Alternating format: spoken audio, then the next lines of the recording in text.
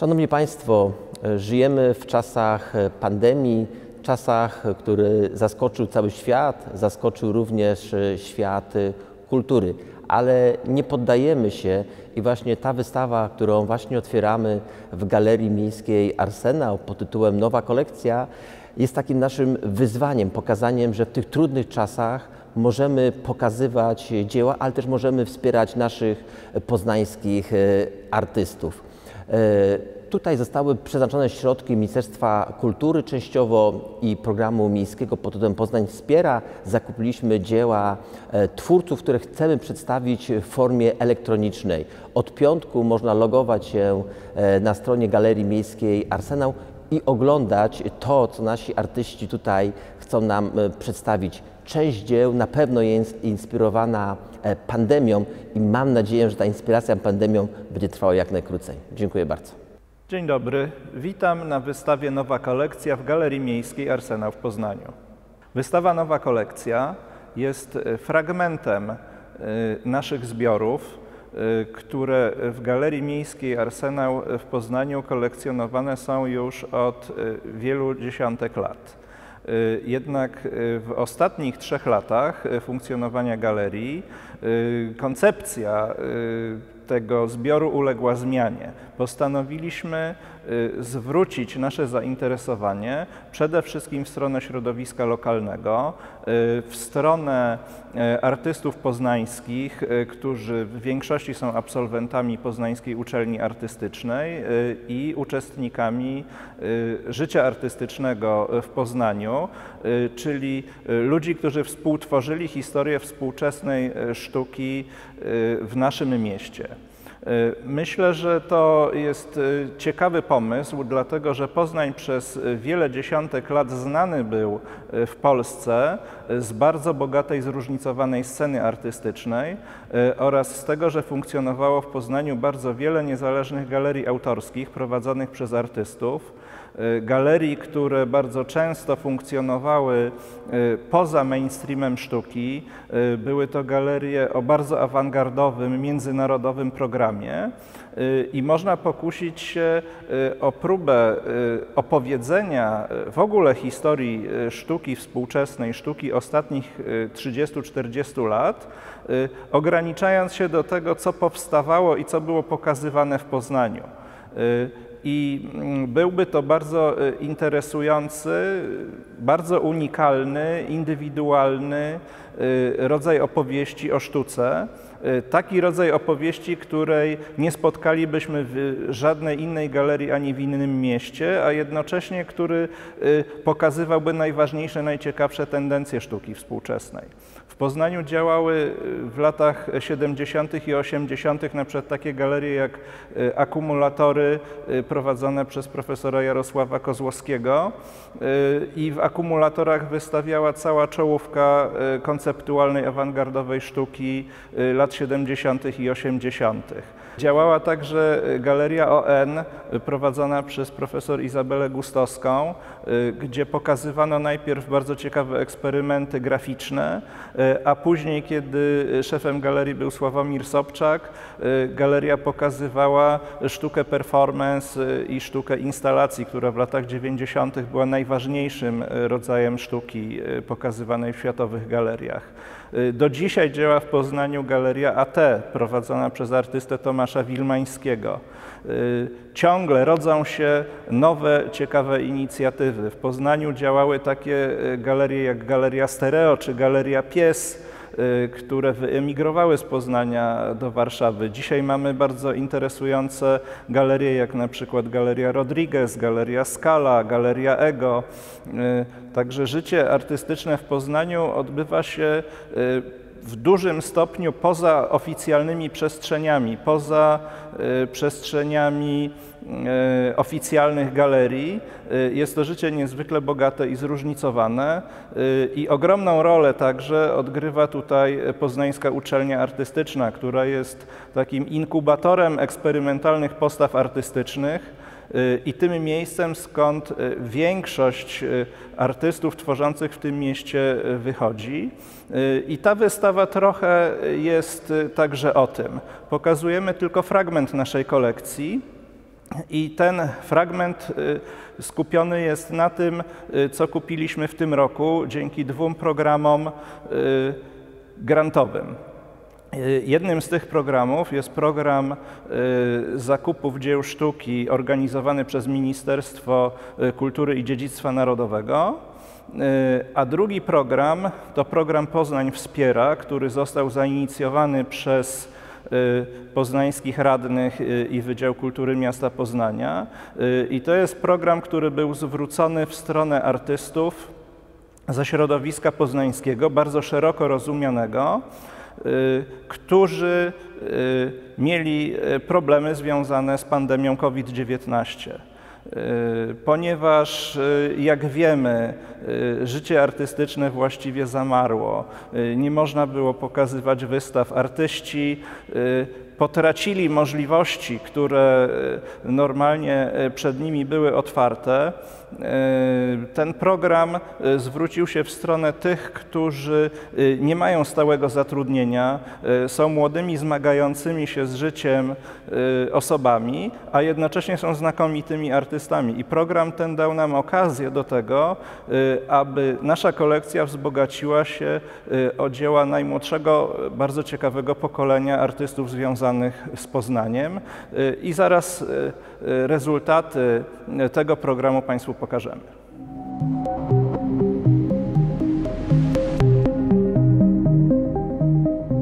Praca Pawła Matyszewskiego pod tytułem Robotnice. Paweł Matyszewski y, jest absolwentem Wydziału Malarstwa Uniwersytetu Artystycznego w Poznaniu, y, a także doktorantem y, tej uczelni.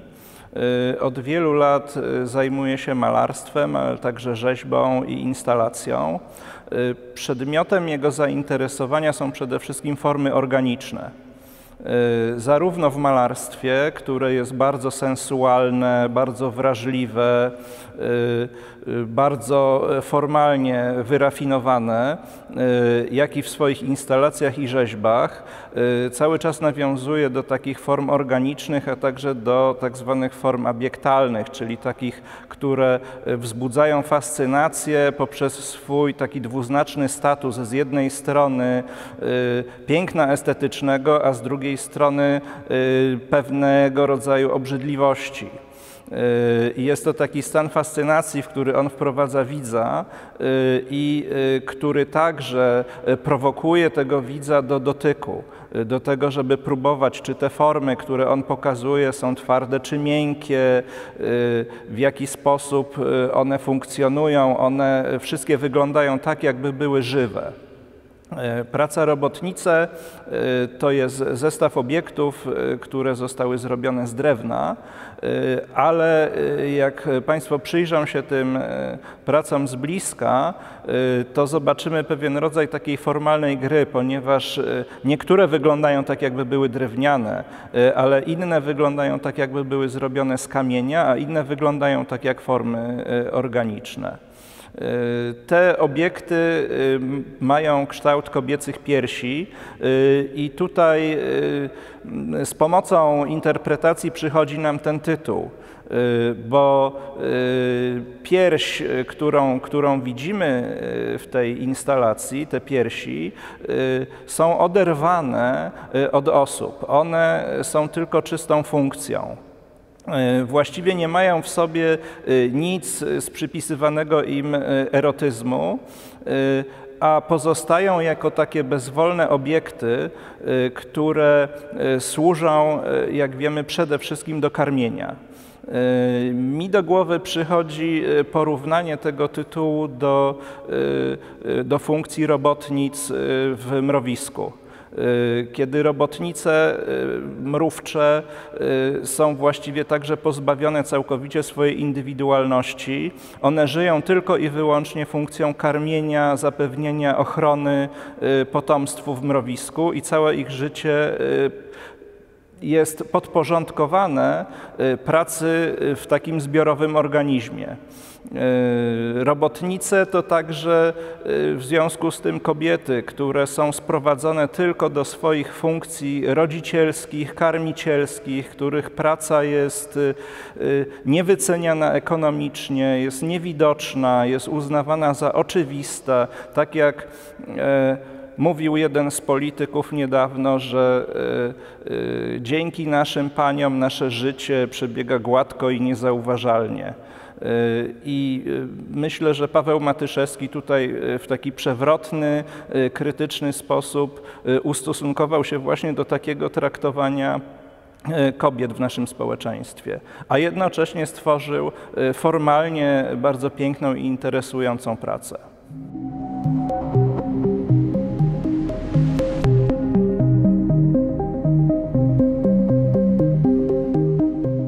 Tytus Szabelski Y, jest absolwentem Uniwersytetu Toruńskiego Wydziału Dziennikarstwa, y, a także jest absolwentem fotografii y, na Uniwersytecie Artystycznym w Poznaniu i także doktorantem na poznańskiej uczelni.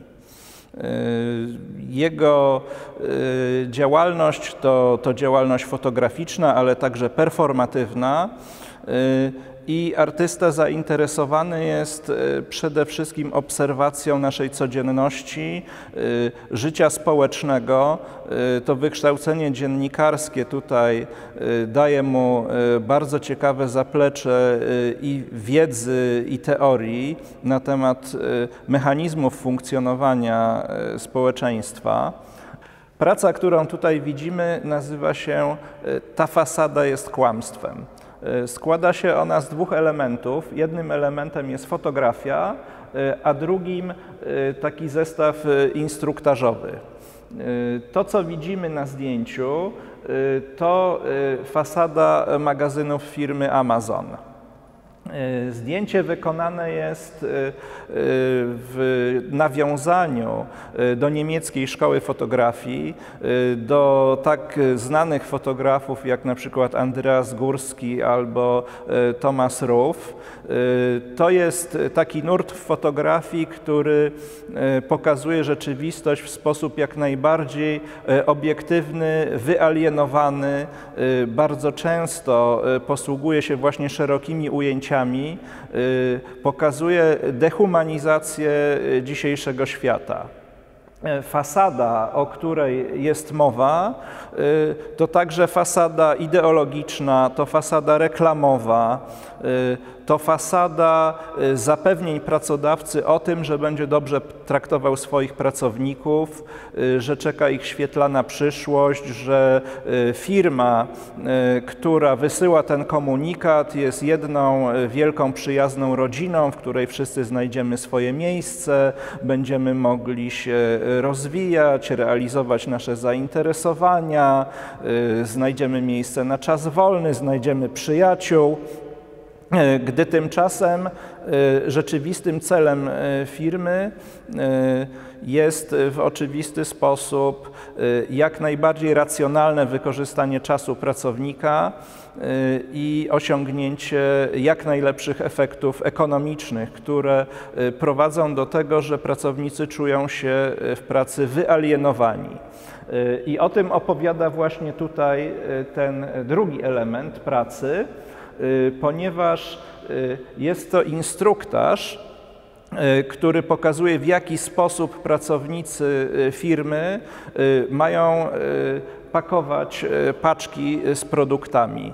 Y, jest to działanie zestandardyzowane, jest to produkcja taśmowa y, i pracownik, który wykonuje tą pracę, musi wykonać w ciągu dnia kilkadziesiąt tysięcy tych samych ruchów w tej samej kolejności i to zapewnia właśnie efektywność firmy, a jednocześnie prowadzi do całkowitej dehumanizacji miejsca pracy. I o tym właśnie chciał nam opowiedzieć Tytus Szabelski w tej pracy.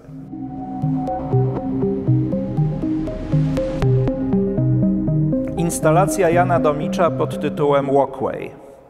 Walkway y, to y, inaczej ruchomy chodnik. Jan Domicz jest absolwentem Uniwersytetu Artystycznego w Poznaniu, ale także Państwowej Szkoły Artystycznej we Frankfurcie. W swoich dociekaniach artystycznych w filmach, które robi, a także w rzeźbach i, instalacjach. E, Jan Domicz zafascynowany jest elementami e, rzeczywistości, e, które on opisuje jako styk tego, co jest publiczne, z tym, co jest prywatne. Interesują go przestrzenie, które nazywamy często przestrzeniami heterotopicznymi, czyli takimi, które są przestrzeniami wyalienowanymi, przestrzeniami obcymi, przestrzeniami pozbawionymi indywidualnych cech a jednocześnie są to przestrzenie, w których my jesteśmy zmuszeni przebywać y, i y, wytwarzać z nimi y, relacje, które są relacjami tworzonymi także przez nasze ciało. Tutaj doskonałym przykładem jest właśnie ten obiekt, który tworzy abstrakcyjną formę, ale jest to tak naprawdę poręcz, Y, która y, towarzyszy ruchomym schodom albo właśnie takim chodnikom, które y, widzimy często na lotniskach albo w innych miejscach publicznych.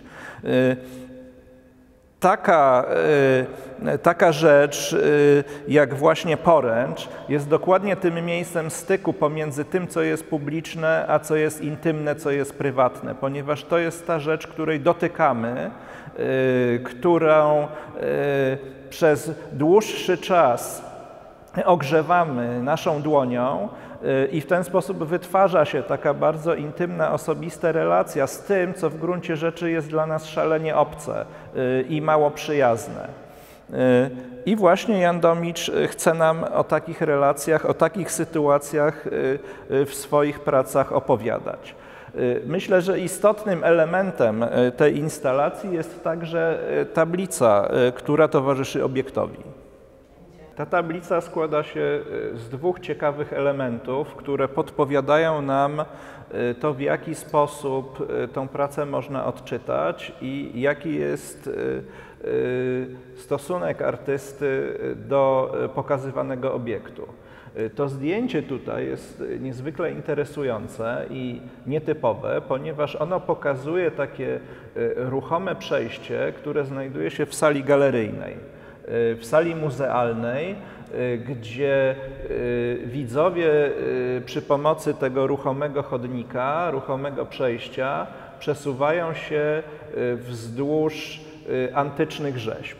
Natomiast Tutaj widzimy rysunek, który jest czymś w rodzaju poezji wizualnej. Z jednej strony domyślamy się, że przedstawia on właśnie tą poręcz, ale wzdłuż tej poręczy zostały zapisane słowa, które układają się w wiersz w języku angielskim.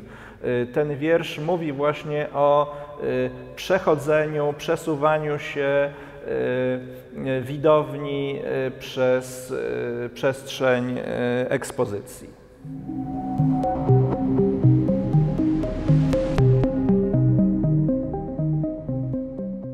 Kuba Borkowicz, absolwent Poznańskiego Uniwersytetu Artystycznego, jest malarzem, performerem, i co ciekawe także tatuażystą.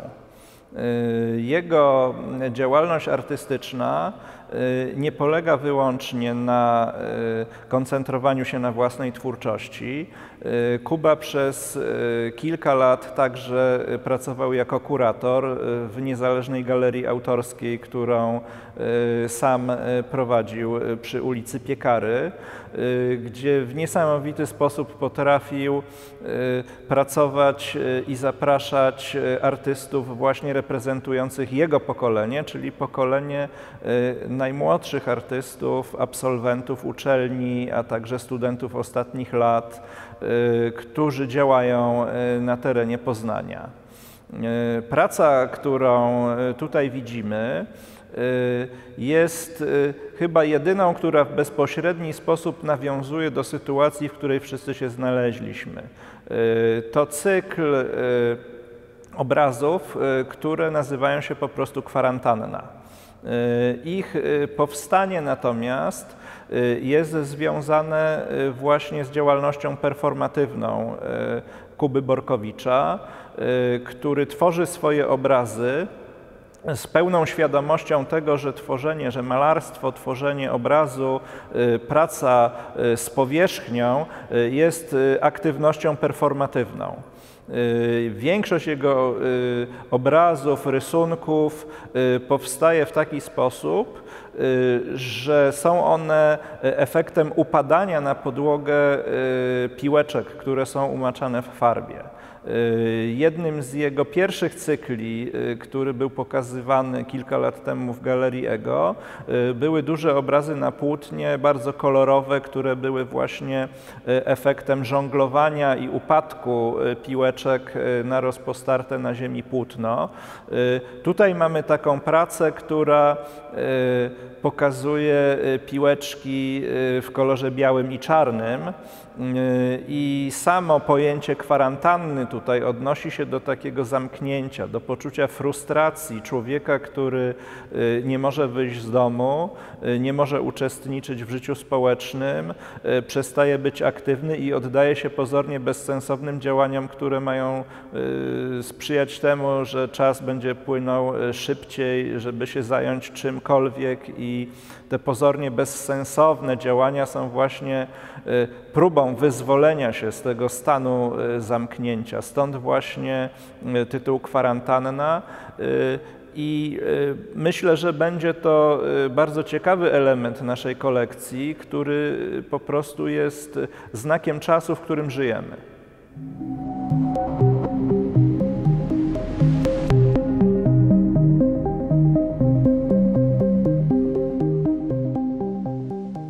Pocałunek miłości Franciszka Orłowskiego Y, to moim zdaniem kluczowa praca w dorobku tego artysty. Y, jest to y, realizacja, która stanowi punkt wyjściowy w wielu realizacjach Franciszka Orłowskiego i wyznacza także pewną oś myślową, filozoficzną jego prac. E, to pokaz slajdów, który e, jest dokumentacją wydarzenia, e, które nastąpiło na Placu Wielkopolskim w Poznaniu. Franciszek Orłowski, wówczas student Uniwersytetu Artystycznego w Poznaniu, student Katedry Intermediów, miał okazję przez długi czas przypatrywać się przez okna uczelni temu, co dzieje się na placu też e, temu, że e, na ławkach, e, które znajdują się naprzeciwko uczelni, bardzo często siadają ludzie bezdomni. Grzeją się w słońcu, jedzą to, co mają do zjedzenia, odpoczywają, śpią. Franciszek podszedł do jednego z tych ludzi i zaproponował mu wymianę ubrań. I właśnie ten proces pokazuje oglądany przez nas pokaz slajdów. E, jednak nie jest to tylko i wyłącznie e, jednorazowe wydarzenie.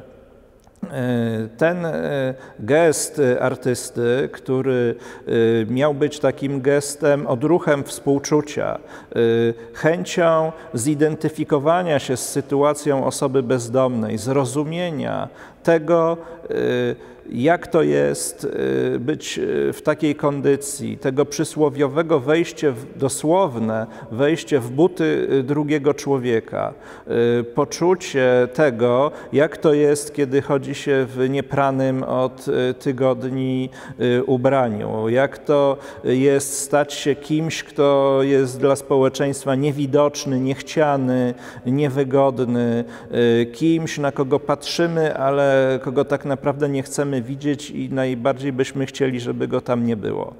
Y, te akcje powtarzane przez y, Franciszka w różnych miejscach y, posłużyły mu także do tego, aby dokonać takiej wymiany, która polegała właśnie na tym, że on ofiarowywał swoje ubrania, a pozyskiwał ubrania od osób bezdomnych. I te ubrania y, z kolei stały się tworzywem y, do jego y, kolejnych prac instalacyjnych, które pokazywał w galeriach sztuki te obiekty, y, jednym z nich był na przykład namiot uszyty z ubrań bezdomnych, y, innym y, była kotara na drzwi.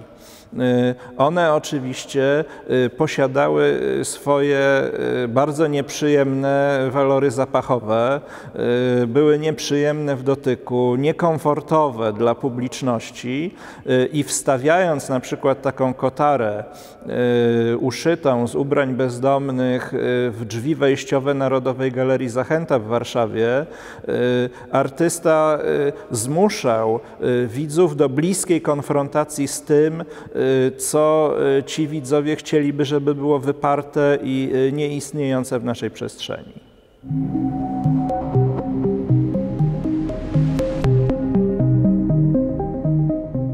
Rafał Żarski y, jest jedynym chyba na tej wystawie artystą, który nie ukończył poznańskiej uczelni. Jest absolwentem Akademii Sztuki w Szczecinie.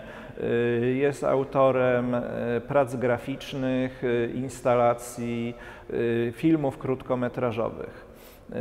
Praca, którą tutaj widzimy, nazywa się Daily Mutation i jest to grafika wektorowa.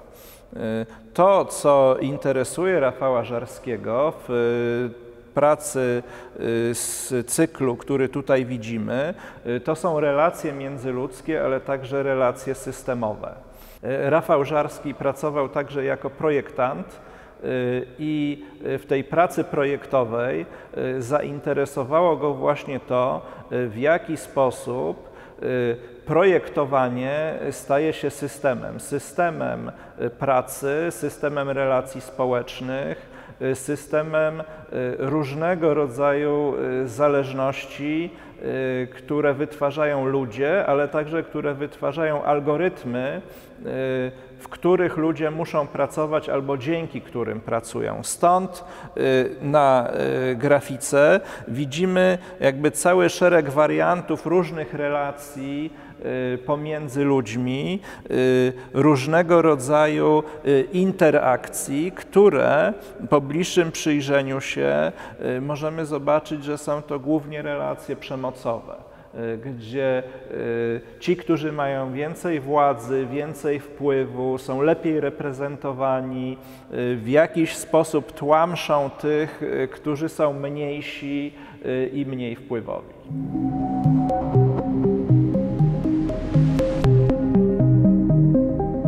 Jana Szostak, artystka, którą widzimy tutaj e, na ekranie, e, jest absolwentką Akademii Sztuk Pięknych w Krakowie, e, Akademii Sztuk Pięknych w Warszawie, a obecnie doktorantką Uniwersytetu Artystycznego w Poznaniu. Jest artystką pochodzenia polsko-białoruskiego i ta jej szczególna pozycja pomiędzy y, kulturami, pomiędzy Polską i Białorusią, y, daje jej y, też pewien rodzaj dystansu w spojrzeniu na to, co dzieje się w Polsce i pozwala jej na to, że tworzy ona bardzo interesujące akcje performatywne, umieszczone przede wszystkim w przestrzeni publicznej, ale także przestrzeni publicznej rozumianej jako przestrzeń mass mediów. Y, jedną z najbardziej znanych akcji Jany Szostak, y, która przyniosła jej taki pierwszy rozgłos, y, to są jej akcje, które ona prowadziła w czasie papieskich Dni Młodzieży w Krakowie kilka lat temu, kiedy zdając sobie sprawę z tego, że może wejść y, w przestrzeń rejestrowaną przez kamery y, największych światowych agencji globalnych, umieściła swój przekaz i weszła w tą przestrzeń z transparentem Papa Colmi i ze swoim numerem telefonu komórkowego. Papież nigdy do Jany Szostak nie zadzwonił, natomiast dzwonili różni ludzie. I ciągiem dalszym tej akcji było właśnie rozmawianie z ludźmi, którzy odpowiedzieli na ten apel niejako w imieniu papieża Franciszka albo zamiast niego, formułując różnego rodzaju albo pretensje, albo pytania, dzieląc się swoimi wątpliwościami, tworząc po prostu nową relację, która zaistniała właśnie dzięki temu wejściu w tą globalną przestrzeń informacyjną ze swoim indywidualnym przekazem. W naszej kolekcji y, znajduje się praca Nowacy. Y, to jest moim zdaniem najważniejsza jak do tej pory praca Jany Szostak. Także praca, która odbiła się szerokim echem nie tylko y, w świecie artystycznym, ponieważ tutaj również Jana Szostak zastosowała strategię wejścia w przestrzeń mass mediów. Przedmiotem projektu Nowacy jest wymyślenie nowego, niepejoratywnego określenia dla słowa imigrant. Słowo nowacy y, zostało wymyślone y, jako słowo zastępujące słowo imigrant y, w rezultacie rozmów, warsztatów, konsultacji, poszukiwania tego słowa. Jak wiemy, Nowak to jest jedno z najpopularniejszych nazwisk, które mamy, mamy w Polsce. Nie, nie myślimy nawet o tym, że to słowo czy to nazwisko kojarzy się z kimś, kto jest nowy, nowo przybyły. E, możemy stąd wnioskować e, po popularności tego nazwiska, że bardzo wielu z nas wśród swoich przodków, bliższych i dalszych, ma właśnie ludzi, którzy są nowo przybyłymi, którzy nie są jakby odwiecznymi mieszkańcami tych y, obszarów, które nazywamy Polską, ale którzy przybyli skądś i przez miejscowych y, byli automatycznie określani jako nowi, jako właśnie y, nowacy. Jana Szostak y, wystąpiła w programie profesora Miotka, y, który też opowiadał o etymologii tego słowa. Y, tutaj pokazujemy fragment bardzo szerokiego zestawu, który stanowi i dokumentację, i zapisy prasowe, i rejestracje telewizyjne.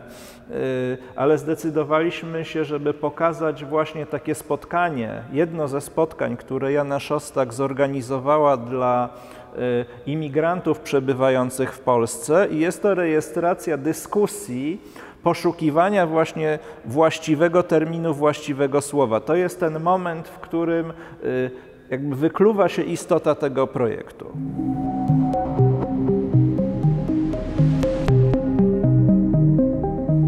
Dach Domie e, to praca Martyny Miller i Katarzyny Wojtczak.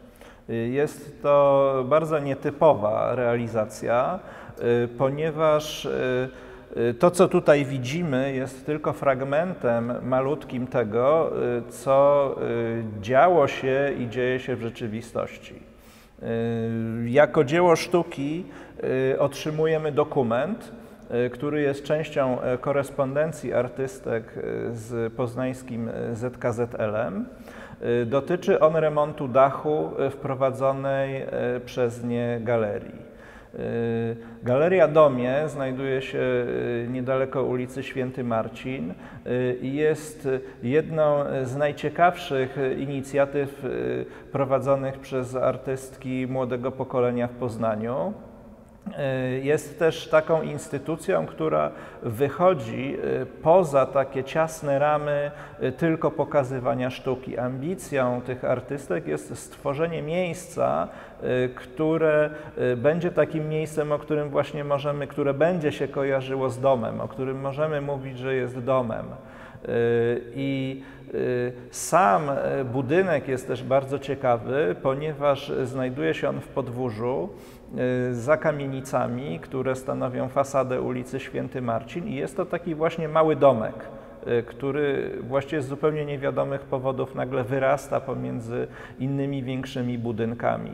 Y, artystki porwały się na to, żeby to miejsce stało się miejscem przyjaznym, miejscem możliwym do zamieszkania w pewnym sensie, ale tutaj na przeszkodzie stanęła twarda rzeczywistość. Budynek znajduje się w opłakanym stanie i tutaj właśnie w sukurs przyszedł ZKZL, który zamiast pobierania wygórowanego czynszu zaoferował wręcz pomoc w remoncie dachu i właśnie o tym mówi to pismo. Czyli mamy tutaj taki dokument pracy artystów w przestrzeni społecznej, tego w jaki sposób artyści poza samym tworzeniem sztuki zajmują się także zupełnie innymi rzeczami, w jaki sposób muszą sami zadbać o pewne też relacje instytucjonalne, o stworzenie miejsca dla siebie i dla innych artystów. Y, myślę, że jest to bardzo y, interesująca praca z tego względu, że ona się także wpisuje w taką poznańską tradycję funkcjonowania sztuki współczesnej, w której to niewielkie instytucje, nie kuratorzy, nie muzea, nie rynek, ale właśnie sami artyści zapewniają warunki do tego, żeby inni artyści mogli tworzyć sztukę i tworzyć miejsca przyjazne dla sztuki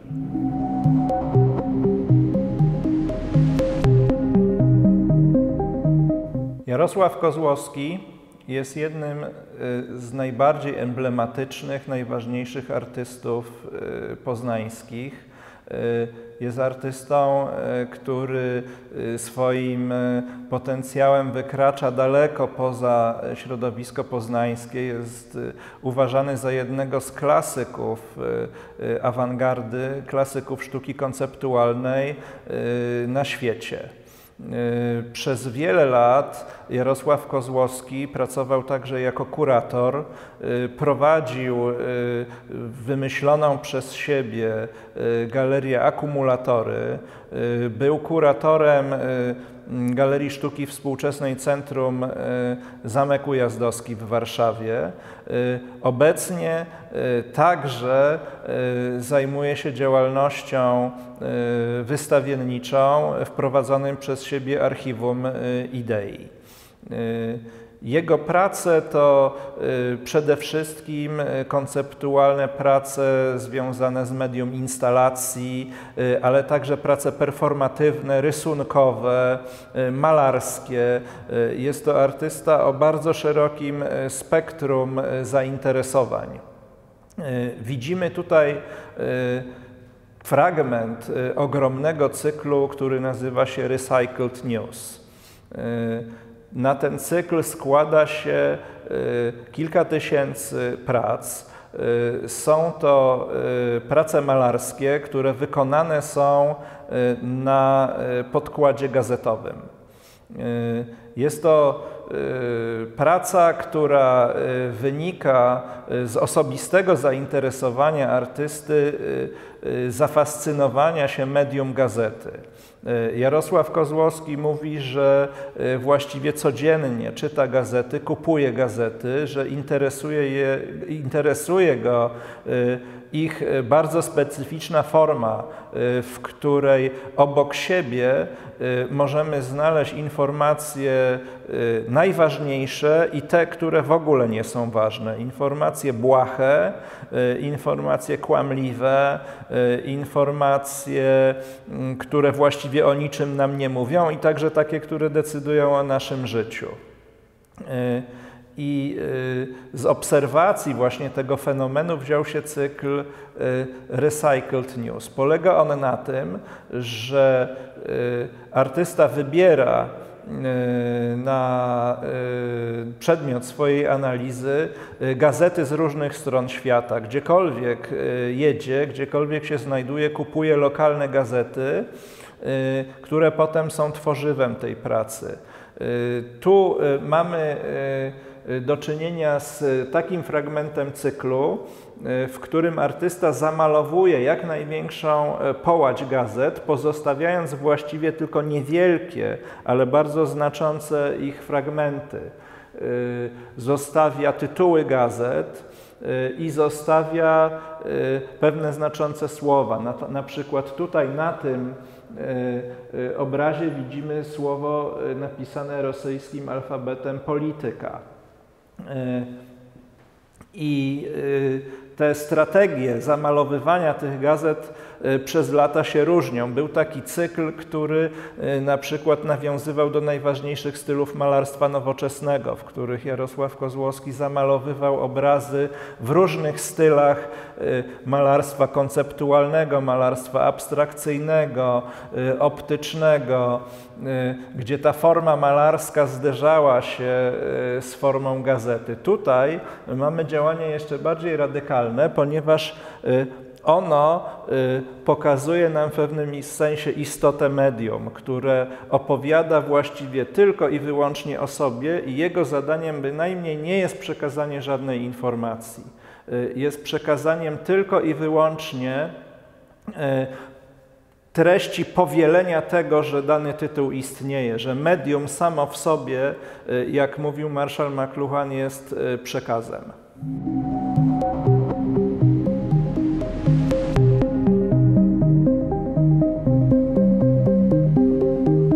Rafał Jakubowicz jest jednym z bardziej wyrazistych artystów środowiska poznańskiego, y, którego prace y, niejednokrotnie y, odbijały się szerokim echem w świecie artystycznym w Polsce. Do jego najbardziej znanych prac należy instalacja Arbeit Disziplin, która była pokazywana właśnie w Galerii Miejskiej Arsenał.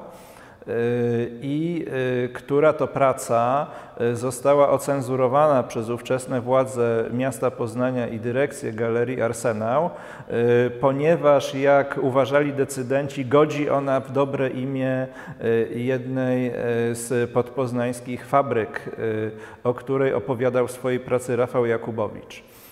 Artysta bardzo mocno zainteresowany jest zagadnieniem historii i tym, w jaki sposób sztuki wizualne pokazują wpływ historii, wpływ e, pewnych e, idei na to, co dzieje się w teraźniejszości. W pracy Arbeit Dyscyplin Rafał Jakubowicz wskazywał na podobieństwa pomiędzy nowoczesnym procesem racjonalizacji produkcji, a systemem obozów koncentracyjnych. Stąd właśnie ten tytuł. Do historii również bardzo mocno odnosi się praca, którą tutaj widzimy, którą udało się pozyskać do naszej kolekcji, praca o tytule Bauhaus. Jest to minimalistyczna rzeźba z metalu, która właśnie stanowi ten bardzo prosty, bardzo estetyczny, bardzo piękny napis, ale za tym napisem kryje się pewna historia, która e, nie jest taka oczywista na pierwszy rzut oka. Mianowicie e, Rafał Jakubowicz w tej pracy opowiada o Francu Erlichu, absolwencie właśnie uczelni z Dessau. Franz Erlich jest postacią kontrowersyjną, ponieważ jako komunista, jako antyfaszysta trafił do niemieckiego obozu koncentracyjnego, ale w tym obozie podjął współpracę z władzami.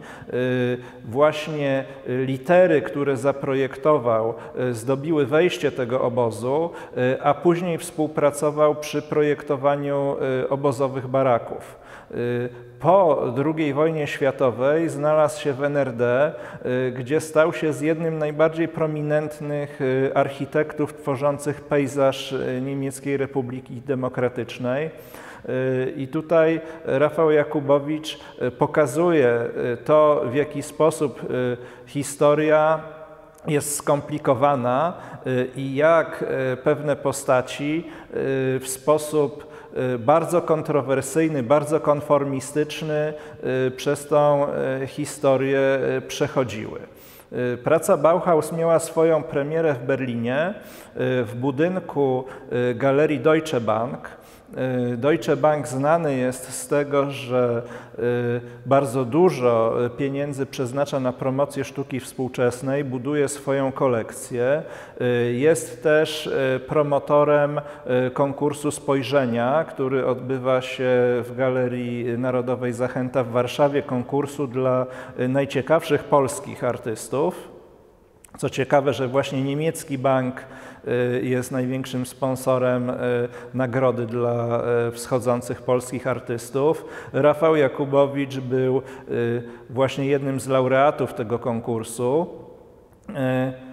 Co ciekawe, właśnie e, budynek e, Deutsche Bank e, w Berlinie był projektowany przez rzeczonego Franza Erlicha, stąd pojawienie się tego napisu i autorskiego komentarza wzbudziło ogromne kontrowersje wśród prowadzących galerię, którzy nie zgodzili się na to, żeby ta historia została w jakiś sposób ujawniona oficjalnie przy opisie pracy, zgodzili się jedynie drogą kompromisu na to, że historia, którą y, właśnie opowiedziałem, znalazła się jako komentarz odautorski artysty, y, a nie komentarz zatwierdzony y, przez galerię.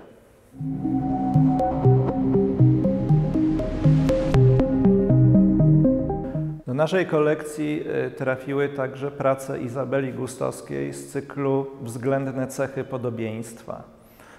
To przede wszystkim cykl grafik, E, ale także e, bardzo rzadko pokazywany e, fragment filmu zrobionego na kamerze 8 mm pod tytułem Wichna i Hanka, który pokazuje działanie performatywne w wykonaniu modelek, które posłużyły Izabeli Gustowskiej do stworzenia cyklu o bliźniaczkach. Cykl Względne cechy podobieństwa y, jest jednym z najbardziej emblematycznych i kluczowych y, wątków w twórczości Izabeli Gustowskiej. Sama artystka, będąc bliźniaczką, zafascynowana jest pojęciem bliźniaczości i wszystkimi konsekwencjami, które ze stanu tego nienaturalnej podwójności, albo można powiedzieć właśnie naturalnej podwójności wynikają. Y, niedawno e, w Centrum Kultury Zamek w Poznaniu y, mogliśmy zobaczyć wystawę pod tytułem Bezwzględne cechy podobieństwa, który nawiązuje do tego właśnie y, cyklu stworzonego na przełomie lat 70. i 80.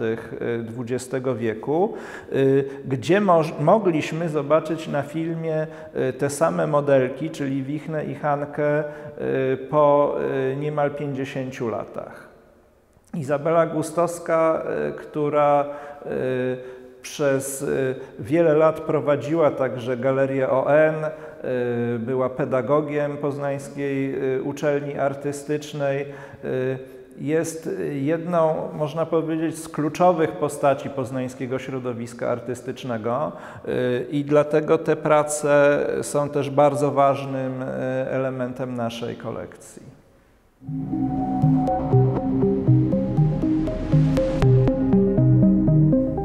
Maria Ornaw jest absolwentką poznańskich intermediów, a także łódzkiej e, szkoły filmowej. E, w centrum e, jej zainteresowania jest przede wszystkim film.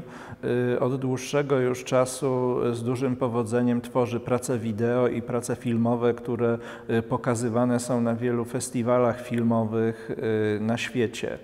E, film, e, który e, nabyliśmy do naszej kolekcji, nazywa się Benitet i jest to dosyć zagadkowe dzieło sztuki, które nawiązuje w swojej formie do klasycznych form awangardy filmowej XX wieku. Możemy w nim y, odnaleźć pewne klimaty, które y, widoczne są na przykład w filmach Maideren.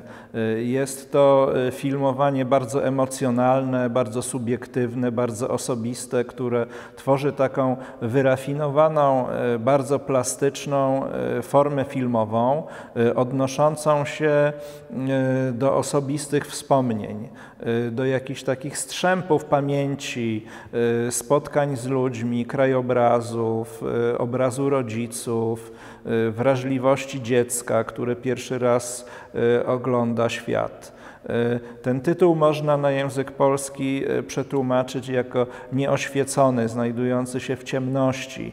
E, stąd też zagadkowość całego filmu i jego bardzo fascynująca forma, która z pewnością wciąga każdego oglądającego do tworzenia zupełnie własnych, osobistych interpretacji tego, co widzi na ekranie.